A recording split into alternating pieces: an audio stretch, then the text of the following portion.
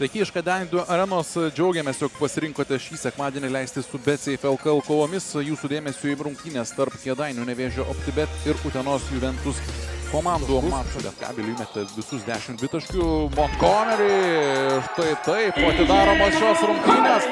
Juve klysta po 17 ir 70 karto.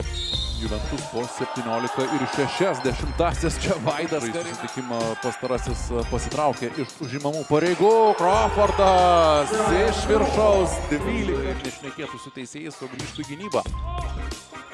Kazakauskas iš toli 3 taškai ir pražanga.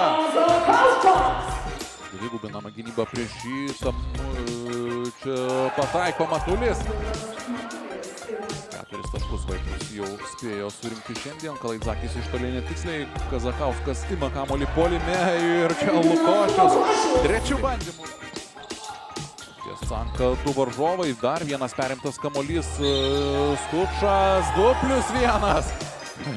Laviravo taip, kad atkovojo kamolį polime. Čia turėjo laiko prisitaikyti Kariniauskas. 3 taškai. Prieš tai du buvo pataikyti. Oi, gražu. Jakubas Gintvainis. Taškų.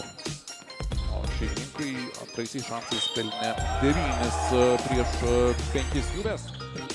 Gintvainis, aukštą trajektoriją paleistas kamuolys, Huportis suteikia savo draugams papildomą šansą. Gintvainis iš toli, 3 taškai. Sniperis pasirodys aikštėje. Sanka. Apglėbęs kamuolį, klaidos išvengta. Montgomery, 2 taškai. Gražus epizodas polime.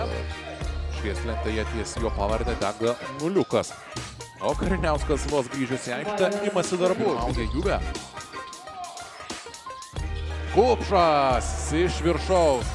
Taip pulti įspūdingai reikia turėti be galo daug talento. Kalaidzakis iš toli. Žaidimas ties klaidos riba. Kazakauskas gulėdamas atliko perdavimą. Trys taškai. Vaisiai šis į kraštą Crawfordui. Turėjo dėka Fortis, žingsnelis atgal. Trys taškai. Pataiko legionierius. Jie pataikė skaičiuojant dvi taškius ir tritaškius Kupšas, dar du taškai su pražanga. Nekalbėsiu, mat šios rungtynės e, visiškai baigėsi Matulis, 90 baus perdavimas ir e, viskas. Sveikinimai Juventus 99, 81 Utenos krepšininkai.